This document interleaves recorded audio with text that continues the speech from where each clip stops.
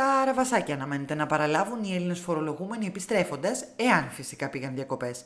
Ο ένφια αλλά και άλλοι φόροι έρχονται για να μας καλωσορίσουν και να μας επιστρέψουν στην καθημερινότητά μας. Ο πρόεδρος της Ένωσης Συλλογιστών Φοροτεχνικών, Παντελής Ζερβαλιάς, αναφέρθηκε σε όλα όσα θα τρέξουν στο επόμενο διάστημα. Σύμφωνα με τα δημοσιεύματα, ο ΕΝΦΙΑ έρχεται χωρίς ουσιαστικές αλλαγές για την πλειοψηφία των 6,2 εκατομμυρίων υποχρεών του φόρου σε σχέση με αυτόν του 2016. Σύμφωνα με τροπολογία του Υπουργείου Οικονομικών, θα πληρωθεί σε 5 μηνιαίες δόσεις, με την πρώτη να πρέπει να καταβληθεί έως τις 29 Σεπτεμβρίου και την τελευταία έως τις 31 Ιανουαρίου. Για την πλειονότητα των ιδιοκτητών ακινήτων, ο φόρος θα είναι ίδιος με τον περσινό, με εξαίρεση αυτούς που βάσει των φορολογικών δηλώσεων που έχουν κάνει εμφανίζουν αυξομοιώσεις στην περιουσιακή τους κατάσταση. Με βάση διατάξεις που ψηφίστηκαν σε νομοσχέδιο του Υπουργείου Οικονομικών, προβλέπεται η απαλλαγή της ΛΕΣΒΟΥ και της ΚΟ από τον ΕΝΦΙΑ για τα έτη 2017 και 2018. Επίσης, για δύο ακόμη χρόνια, το 2017 και το 2018, αναστέλλεται η εφαρμογή του συμπληρωματικού ένφια για τα αγροτεμάχια. Λοιπόν, όσον αφορά τα εκαθαριστικά του φόρου εισοδήματος, υπάρχει μια μικρή αύξηση φέτος συγκριτικά με πέρυσι, καθώς έχουμε την κατα... τη μείωση του αφορολογίου από, 1900, από 2% στα 1900. Είχαμε μια μικρή αύξηση στον υπολογισμό των ενοικίων. Ταυτόχρονα είχαμε και δύο μειώσεις όσον αφορά το φόρο εισοδήματος της επιχειρηματικής δραστηριότητας, αλλά ε, και το αφορολόγητο στους ε, αγρότες. Ε, ταυτόχρονα στα μεγάλα εισοδήματα υπήρξαν σε κάποιες περιπτώσεις ε, όπως επιχειρηματική δραστηριότητα και μισθή ε, προοδευτική κλίμακα, οπότε έχουμε αύξηση του φόρου και ταυτόχρονα είχαμε και την αύξηση της φοράς αλληλεγγύης στα μεγάλα εισοδήματα.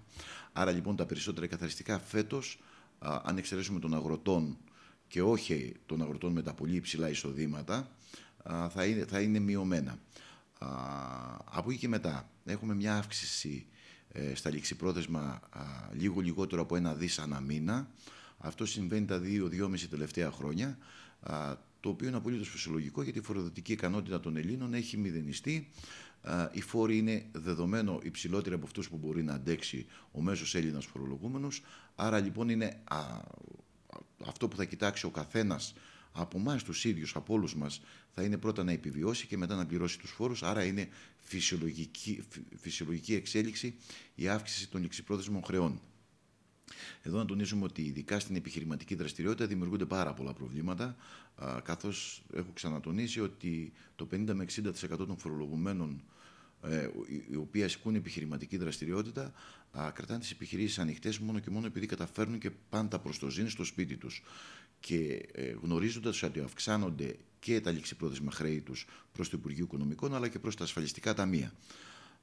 Εδώ θα πούμε, να πούμε και κάτι ακόμη ότι σιγά σιγά εξαντλείται, αν δεν εξαντλήθηκε πλήρως το κεφάλαιο για ανάλωση που είχαν δημιουργήσει τα προηγούμενα χρόνια και με την αύξηση των τεκμηρίων και εκεί που έχουν φτάσει ε, αυτόματα ε, καταλογίζονται πολύ μεγάλοι φόροι, ειδικά σε αυτούς που, οι οποίοι έχουν επιχειρηματική δραστηριότητα που σε καλές εποχές κατάφεραν αυτοί οι άνθρωποι και απέκτησαν ένα μεγάλο κυβισμό αυτοκίνητο, ένα σπίτι μεγαλύτερων τετραγωνικών μέτρων ε, και μαζί με τα δάνεια και, όλα, και όλες αυτές τις υποχρεώσεις τα τεκμήρια φτάνουν στο Θεό. Όλοι αυτοί ε, επιβαρύνονται με πάρα πολύ υψηλούς φόρους.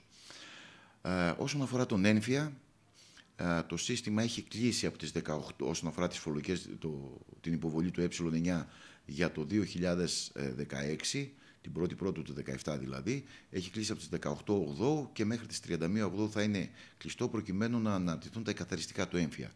Ε, λανθασμένα έχει δημιουργηθεί εντύπωση ότι τα εκαθαριστικά θα εκδοθούν άμεσα, δηλαδή από τις 18 και μετά θα μπορούσαν να να εκδοθούν και μάλιστα 21 με 22 του μηνός θα μπορούσαν να είναι όλα αναρτημένα. Είναι ε, σχεδόν αδύνατο να συμβεί αυτό γιατί είναι πολλές οι παράμετροι που θα πρέπει να ληφθούν υπόψη στην εκαθάριση των εκαθαριστικών αυτών, όπως είναι αναπηρίες, όπως είναι εκαθάριση φόρου εισοδήματος, όπως είναι οικογενειακά εισοδήματα κλπ. Α, η αξία της ακίνητης περιουσίας προκειμένου να υπάρξουν οι μειώσεις ή απαλλαγές σε κάποιες ε, κατηγορίες φορολογουμένων. Σε κάθε περίπτωση δεν χρειάζεται οι φορολογούμενοι οι οποίοι δεν τα εκτυπώνουν μόνοι τους να ταλαιπωρούνται και να τρέχουν στους λογιστές τους ή σε τρίτους προκειμένου να βγάλουν το καθαριστικό του έμφυα, καθώς η πρώτη δόση θα πληρωθεί 39 του. Άρα λοιπόν σε αυτή την περίπτωση ε, και μέσα Σεπτέμβρη να, να πάνε να παραλάβουν το καθαριστικό του έμφυα, δεν θα έχουν πρόβλημα. Άρα λοιπόν ας μην ταλαιπωρούνται αυτή τη στιγμή, ε, καθώς είναι και τέλος του μήνα και οι υποχρεώσεις των λογιστικών γραφείων είναι αρκετά αυξημένες, παρόλο που είναι Αύγουστος, καθώς έχουμε ΦΠΑ, μισθοδοσία κλπ. κλπ.